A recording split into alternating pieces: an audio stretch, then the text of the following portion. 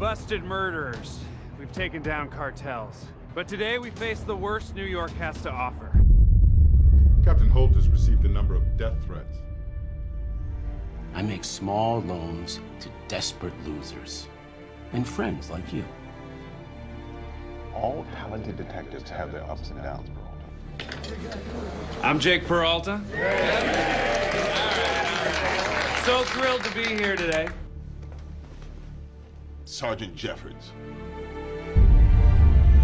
Uh, as many of you may know, I used to be a cop.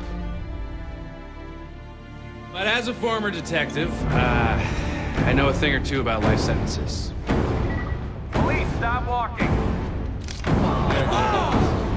to Angie and Marco. This is war, Sergeant. Salute. Let's go!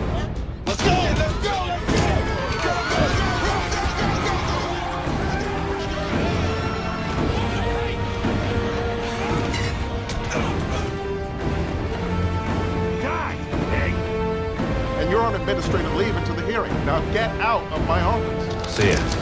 Well, if it isn't Jake Peralta, mafia crap bag. Do you have any evidence you'd like to present on your behalf?